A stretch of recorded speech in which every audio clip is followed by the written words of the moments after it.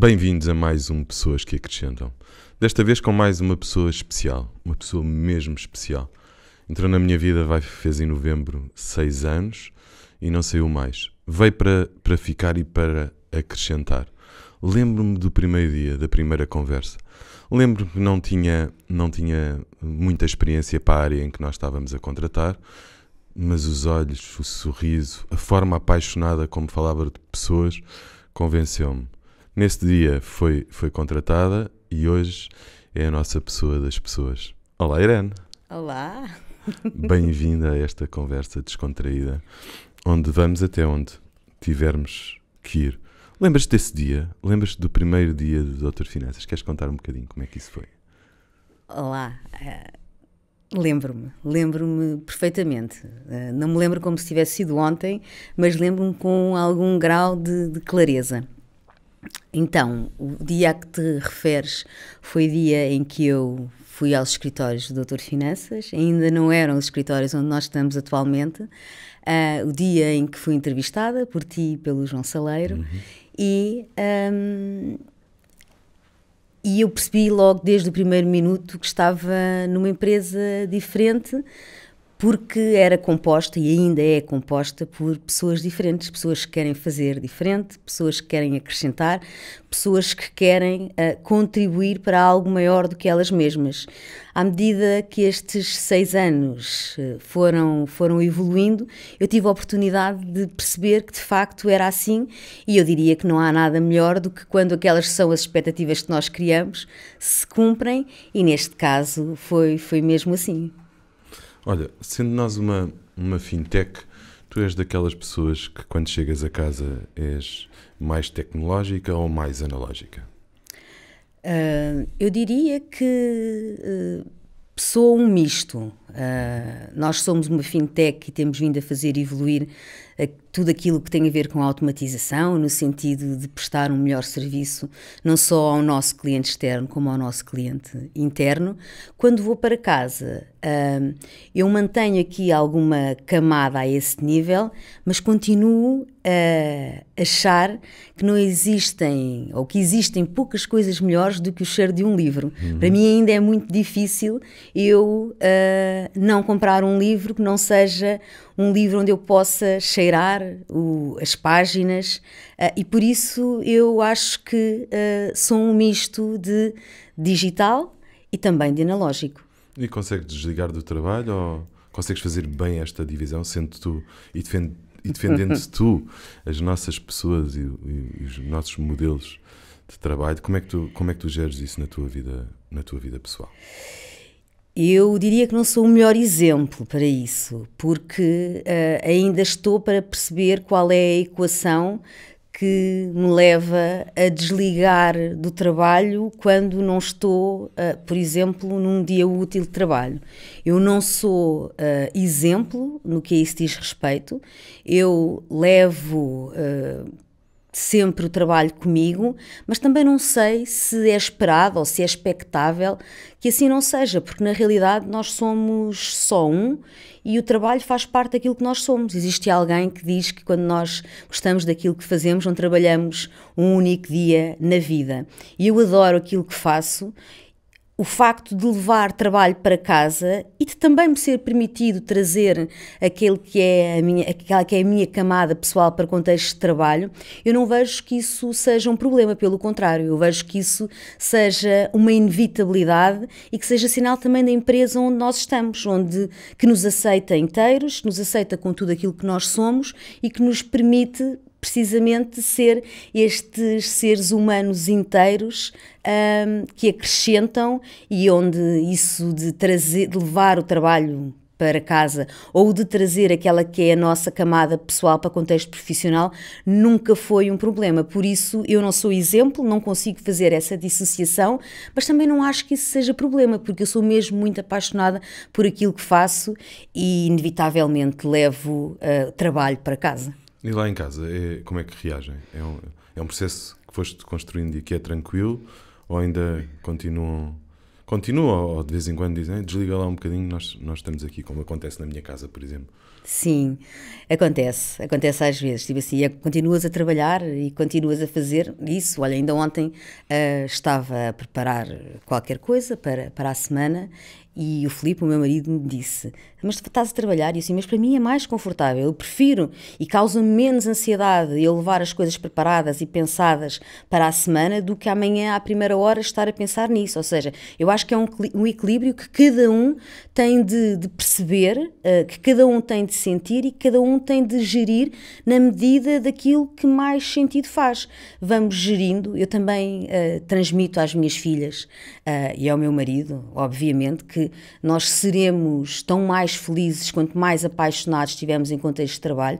E quando isso acontece não há este, este peso. E eles percebem isso. E na realidade eu quero sobretudo ser inspiração para as minhas filhas de que hum, trabalhar não é uma coisa má, pelo contrário, é algo que acrescenta, sobretudo quando nós fazemos aquilo que gostamos, por isso que elas também sigam este, este exemplo e que uh, consigam fazer este equilíbrio que lhes dá um, aqui este frenesim e esta paixão à vida.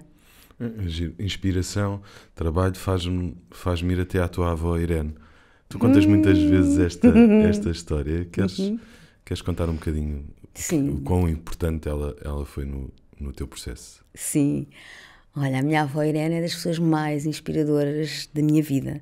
Uh, eu sou Irene porque ela era Irene e era uma super mulher que não sabia ler nem escrever uh, e, e, e, em relação a quem eu achava que nas minhas férias de verão, onde eu passava uh, um, período muito alargado em São Pedro do Sul, onde ela era, eu achava que ia, que ia ensinar a ler e escrever. Eu percebo à data de hoje, e ela já não está uh, fisicamente comigo, mas percebo que isso não lhe um, não fazia dela melhor ou não faria dela melhor, não faria dela alguém com mais sabedoria, porque apesar dela não saber ler e escrever, ela era uma mulher de uma sabedoria imensa e eu uh, quero acreditar que uh, até muitas das minhas lutas, muito aquilo em que eu acredito, são inspiradas nela e no exemplo de luta que ela foi um, e que hoje uh, trago todos os dias comigo. É de facto uma pessoa muito importante. Eu tenho muita, uh, tenho muita, muito, muito orgulho uh, nas minhas raízes, não só na minha avó Irene, mas também na minha avó Dolores, que são duas mulheres muito inspiradoras para mim e aquilo que eu sou, eu devo às pessoas com quem interagi e elas são, sem sombra de dúvida, um exemplo muito importante para mim. Olha, disseste aí aquilo que eu sou e vou-te lançar o primeiro, o primeiro exercício. Imagina que eu agora te dava uma folha em branco e uma caneta e tu tinhas que te descrever. Como é que te descreverias? Isso é sempre, um, é sempre um exercício muito tramado, não é? Uhum. Porque nós conseguimos eh, fazer esse exercício com alguma facilidade para os outros, em relação a nós, nem sempre isso é tão fácil. Uh, sendo que um, eu considero-me uma pessoa apaixonada, uh, considero-me uma pessoa muito simples, muito sem, muito sem salamaleques. Uh, e, e se calhar estes são dois pilares daquilo que, que eu sou e que tem condicionado ou que tem ditado aquilo que tem sido o meu caminho. Apaixonada por aquilo que faço e aquilo que procuro fazer uh, nos meus dias é precisamente tendo como bússola a paixão, mas nunca abdicando de uma simplicidade que faz com que eu acho que, que somos todos iguais, que todos temos um caminho a fazer, que todos temos conquistas para fazer nesta vida e que há sempre uh, algo a aprender com todas as pessoas com, que, com quem interagimos. Por isso, assim, de repente, eu diria que dois pilares que me caracterizam são, sem sombra de dúvida, a paixão e a simplicidade. Como é que o Felipe te descreve? Apaixonada também uh, pela vida e por ele. Uh, acho que ele me descreveria como, como alguém muito batalhadora, uh, nós estamos casados, estamos juntos há algum tempo e ele tem sido um pilar determinante e tem também assistido a esta minha uh, vontade de fazer acontecer, de acrescentar, de melhorar um bocadinho o mundo em que eu estou uh, diariamente. Uh, e eu diria que, que é por aí, ou seja, muito trabalhadora, muito apaixonada por aquilo que faço. Uh, e com esta vontade de deixar o mundo, e não é um mundo de uma forma global, é aquele mundo em que eu interajo diariamente, em que eu entrego diariamente um bocadinho melhor do que aquilo que eu encontrei. Como é que as tuas filhas te descrevem? Uma mãe chata. Quer dizer, eu acho que as mães, quando não são chatas, também, se calhar, há ali alguma coisa uhum. que não uhum. está a correr bem. Eu acho que elas devem dizer que eu sou um bocadinho chata, uh, louca também, porque uh, sou muito de estar com elas e dizer alguns disparates com elas, sou exigente para elas, apesar deste, deste equilíbrio e desta, uh, desta diversão que eu procuro trazer a, este, esta função de ser mãe, eu procuro também que seja uma coisa porreira, uh, que elas, apesar de me verem como chata, que saibam que, que, podem contar comigo para ir com elas a um concerto e que podem contar comigo para eu ir com elas. Uh, saltar nos trampolins, mas sempre neste equilíbrio de, uh, ok, uh, eu agora sou a mãe fixe, mas tem momentos em que eu sou aquela mãe mais exigente, mais chata, em que as procura, uh, em, que, em que procura que elas também olhem para o seu caminho com alguma com, algum, com a responsabilidade que os 13 e 11 anos permitem e que o façam no sentido daquilo que as apaixona. Eu acredito mesmo que a paixão, e já falei de paixão algumas vezes nesta nossa conversa, mas eu acredito mesmo que é a bússola que nos vai levar para onde nós temos de ir, para o caminho que nos pertence e aquele onde podemos acrescentar mais. Sendo, sendo as tuas filhas mulheres, tu, essa causa, quem te conhece, como nós conhecemos também, é uma causa que te diz muito e que tu muitas das vezes dizes que gostavas que as tuas, que as tuas filhas tivessem acesso a coisas que se calhar tu na nossa geração ainda não tivemos. Queres falar um bocadinho sobre isso que também te apaixona e que tantas vezes falas? Sim, sabes que eu, quando, quando nós começamos a pensar a maternidade, inevitavelmente um, pensamos se gostávamos de ter meninos ou gostávamos de ter meninas, e eu sempre uh, disse que uh, se me fosse dado a escolher, eu gostava de ter filhos rapazes. Um, e isto tem uma razão. Uh, eu gostava, eu gostaria de ter tido filhos rapazes, precisamente para educá-los para, uh, para a causa, para a causa feminista, para a causa da igualdade de género. Um, Sendo que, como sabes, tenho duas filhas raparigas. Eu sou daquelas pessoas que acha que nada acontece por acaso e à data de hoje parece-me que tenho duas filhas precisamente porque eu acho que existe ainda um caminho muito importante a fazer de mulheres para mulheres. E eh, mais do que querermos porque eu acho que o feminismo é uma, causa, é uma causa de homens e de mulheres, mas mais do que queremos, queremos trazer os homens para jogo, em primeira instância, as mulheres têm de estar umas pelas outras. E eu diria que por esse motivo é, foi precisamente por esse motivo que eu tive filhas mulheres, para tomar consciência de que, de facto, é importante nós estarmos umas pelas outras.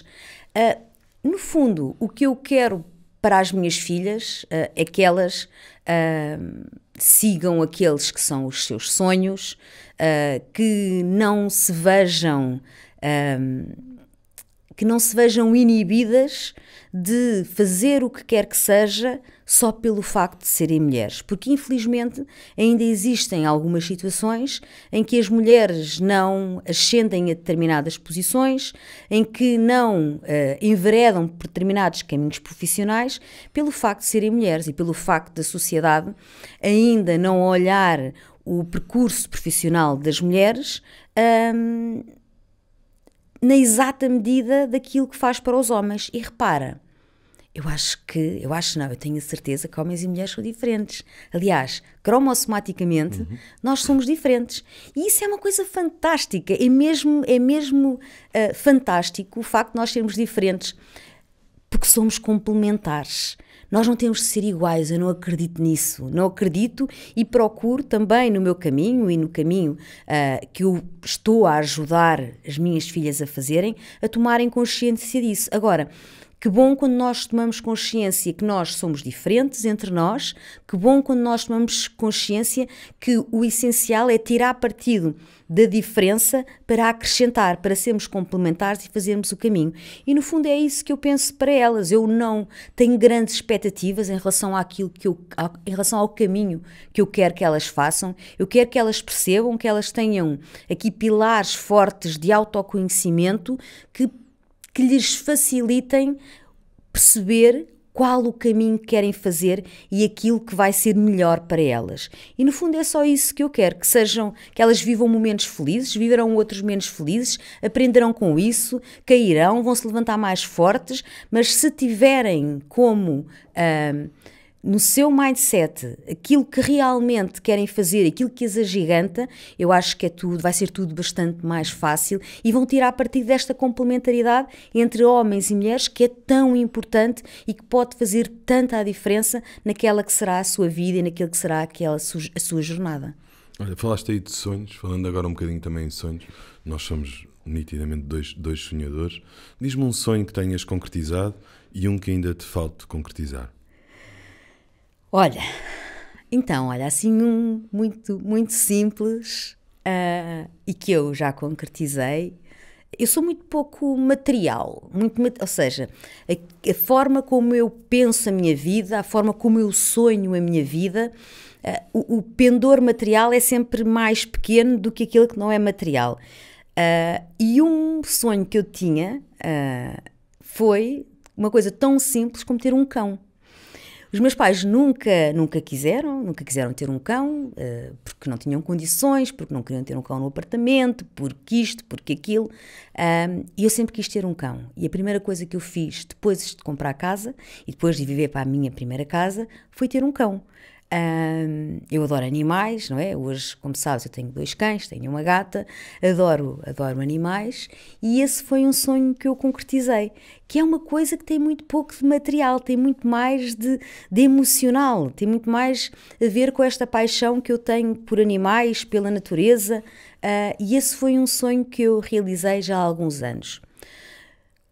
Um que eu tenha por, por realizar não sei se te sei dizer, não sei se te sei dizer. Eu vivo muito, eu vivo muito no dia a dia. Uh, eu penso pouco a, a, longo prazo. Aquilo que, que eu procuro, até porque acho que quando nós pensamos muito a longo prazo, desfocamos do nosso dia a dia e daquilo que podemos entregar, e isso faz com que nós distribui, distribuamos a nossa energia de uma forma que não nos pode não ser tão, tão, tão benéfica quanto isso. Eu procuro que, uh, e, e, há pouco também já te disse, eu procuro contribuir para que a vida daqueles uh, com quem eu interajo seja melhor. Procuro contribuir para que também percebam que podem ser sempre a melhor versão. E esse é um sonho que eu vou fazendo no meu dia a dia. Eu, eu sou muito pouco de, como te disse, material. Um, Obviamente que é importante para mim e para, para as pessoas, de uma forma geral, terem condições para terem uma vida estável, mas olha, como há pouco dizia, eu sou muito mais de. Eh, eu quero viver a minha paz, quero estar na minha vida bem com os meus e tenho tido uma sorte dos diabos em encontrar pessoas como tu que têm acrescentado imenso à minha vida e eu diria que isso não sendo um sonho, é aquilo que eu persigo diariamente. É ter pessoas que, que me acrescentam, pessoas que não dizem sempre que. Uh, não estão sempre de acordo com aquilo que eu digo, porque essas na realidade não me acrescentam grande coisa, não é? O que eu quero é pessoas que. que, que boas pessoas. Boas pessoas. E esse é se calhar um sonho que eu tenho todos os dias que acordo. É ter a possibilidade de encontrar pessoas uh, que me inspiram, pessoas que me acrescentam, pessoas que são boas pessoas sem mais nenhum subterfúgio aqui à volta. Pessoas que me acrescentam. Gostei, gostei dessa. E não foi de, e não foi de propósito. Exato, por isso é que teve mais piada, teve mais piada ainda. Olha, alguma coisa que te arrependas de ter feito ou de não ter feito? Nada. Nada, absolutamente nada. Nem sempre tomei as melhores decisões, nem sempre acertei na mousse. Agora, eu acredito que foram as boas e, sobretudo, as más decisões que me trouxeram aos dias de hoje. E por isso eu não trocava nada, porque eu tenho o privilégio de fazer aquilo que gosto, de ter a família que sempre sonhei, de ter amigos que, uh, que são realmente amigos. Eu não tenho imensos amigos, mas os que tenho são fantásticos, por isso eu não trocava absolutamente nada, não mudava absolutamente uma vírgula daquele que foi o meu percurso até ao dia de hoje e, reforço, nem sempre tomei boas decisões, nem sempre vivi momentos fantásticos, já tive alguns desafios na minha vida, mas foram eles que me trouxeram aos dias de hoje e foram eles que me tornaram na pessoa e na profissional que sou hoje. Boa. Olha, hum, estamos juntos há seis anos, há seis anos que te juntaste, juntaste a nós. Há, algum momento nestes seis anos te lembres ou que venha muitas vezes à memória, que tenha ficado hum. marcado? Ah, ah, e não tenho nenhuma dúvida a identificar, identificar qual foi este momento, que foi precisamente quando te dirigiste a toda a empresa em contexto de pandemia e em que dissemos às nossas pessoas que a partir, isto era uma sexta-feira, se não me falha a memória, a memória, e dissemos que a partir da segunda-feira imediatamente seguinte que iríamos todos para casa, com uma incerteza gigante, sem saber muito bem como é que iríamos gerir na altura as nossas mais de 100 pessoas, e hoje somos mais de 230 e é fantástico olhar para este, para este percurso, mas isso foi um momento que me marcou, porque acho que todos mudamos a partir daquele dia, todos, todos percebemos uh, a massa de que realmente somos feitos. E nós temos um ativo que é qualquer coisa, um ativo humano que é qualquer coisa de extraordinário, porque de uma sexta para uma segunda-feira nós passámos a trabalhar em modelos completamente diferentes que não conhecíamos, não sabíamos o que é que o mundo que estava completamente virado do avesso nos iria trazer. Ainda assim, nós arregaçámos as mangas, como tão bem sabemos fazer, e fizemos acontecer.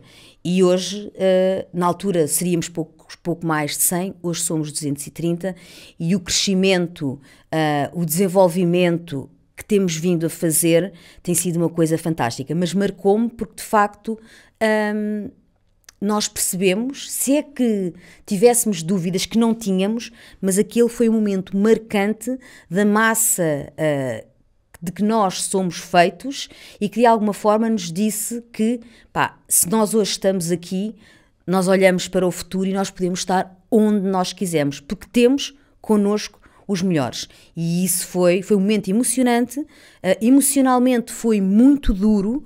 Uh, eu lembro-me também com alguma nitidez de, da mensagem que foi passada às nossas pessoas, de como nós estávamos também vulneráveis face à certeza que daí viria, mas tudo fluiu na exata medida das pessoas que nós temos e dos profissionais imensos que temos dentro de casa. Realmente foi um dia, estava-me aqui a recordar desse dia também. Foi a primeira vez que eu li, que eu li qualquer pois coisa foi. que escrevi. Eu que faço quase sempre tudo de, de improviso. Olha, deixa-me ir um bocadinho à tua vida pessoal, estamos quase a terminar, mas antes não, não queria deixar passar.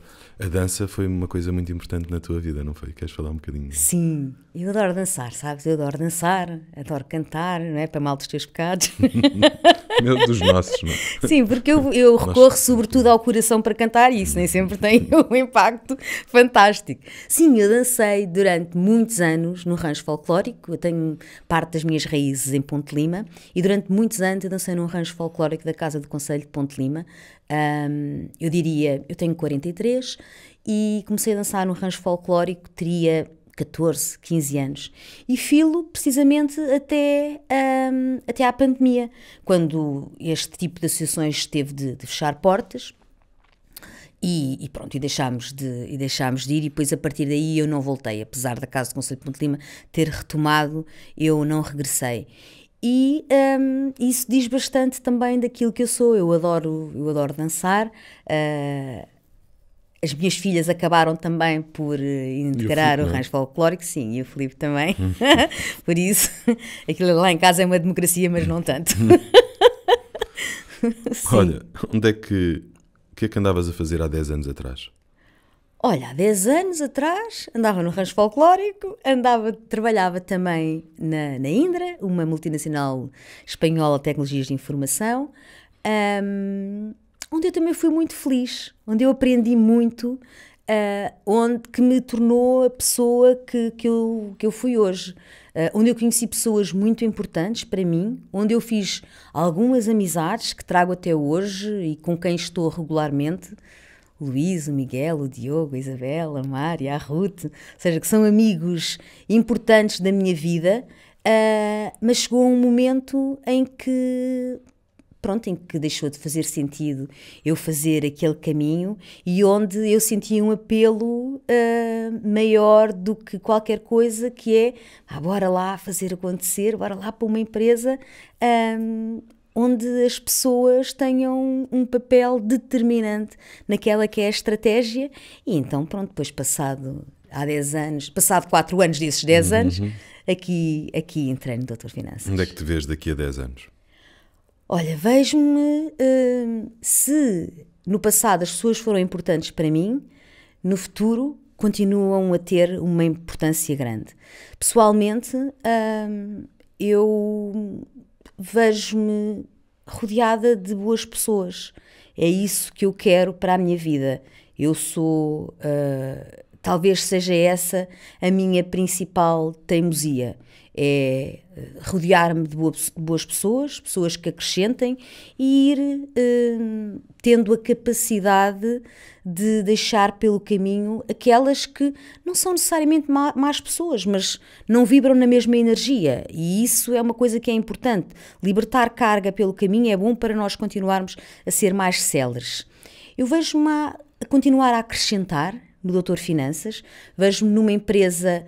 ah, maior do que aquela que é hoje, não maior na sua essência, porque eu acho que o Doutor Finanças ah, chegou até hoje porque nunca abdicou daqueles que são os seus pilares. Mas vejo-me numa empresa que ahm, já acho que tem uma dimensão em termos de pessoas maiores, continua, continuarei a acrescentar, ah, sobretudo em benefício das pessoas, porque ao fazê-lo eu não tenho nenhumas dúvidas que estou a acrescentar para a empresa no seu todo e a contribuir para aquela que é a sua sustentabilidade. Por isso vejo por aí, olha, muito próxima da natureza também, que eu gosto muito da natureza, ah, e tem, isto tem sido uma descoberta que eu tenho feito ao longo, ao longo do tempo. ah, mas não vejo assim umas alterações significativas. Apaixonada sempre e entregar tudo aquilo que eu sou no contexto onde estou, no Doutor Finanças. Obrigado, Irene. Que continues a, a inspirar-me e a inspirar-nos a todos nós. É para mim um gosto, um prazer, uma honra. Tu vieste também mudar a minha vida e a forma como eu olhava para a vida. Vieste, vieste acrescentar uma camada muito, muito importante ao Doutor Finanças. Hoje somos melhores pessoas, somos melhor empresa também porque tu te juntaste a nós e eu serei sempre grato por isso. Quanto a nós, voltamos um dia destes com mais um Pessoas que Acrescentam. Até breve. Até lá. Sigam-nos nas nossas redes em doutorfinanças.pt. Obrigado.